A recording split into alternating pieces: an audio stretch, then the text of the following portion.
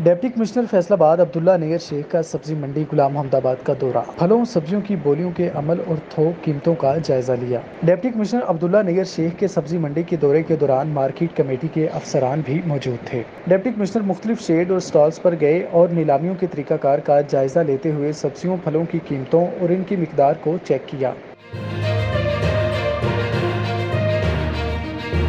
जबकि बोलियों का तकाबली जायजा लेते हुए वाजिया किया कि किसी फल या सब्ज़ी की बेजा और बिला जवाज कीमत बढ़ाने की कोशिश न की जाए। आवाम को बेजा महँगाई के रुझान से बचाने के लिए सब्ज़ी मंडियों में बोलियों की निगरानी की जा रही है। किसी आड़ती को बिला जवाज थोक कीमत बढ़ाने की इजाज़त नहीं दी जाएगी। इस मौका पर डेप्टी कमिश्नर किसान प्लेटफार्म पर भी गए और वहाँ प्राइस लिस्ट की मौजूदगी को चेक किया। इन्होंने सब्ज़ी मंडी का तफसीली दौरा किया और दुकानदारी के लिए खरीदारी करने वालों से बोलियों की शराइ और मैार के बारे में भी दरियाफ्त किया। किया। फलों, सब्ज़ी, मंडियों में बोलियों के अमल की मुसलसल निगरानी का अमल जारी है। डेप्टी कमिश्नर ने असिस्टेंट कमिश्नर को भी फ्रूट मंडियों के तवातर दौरे करके अशिया की दस्तियाबी और बोलियों को मॉनिटर करने का हुक्म दिया है।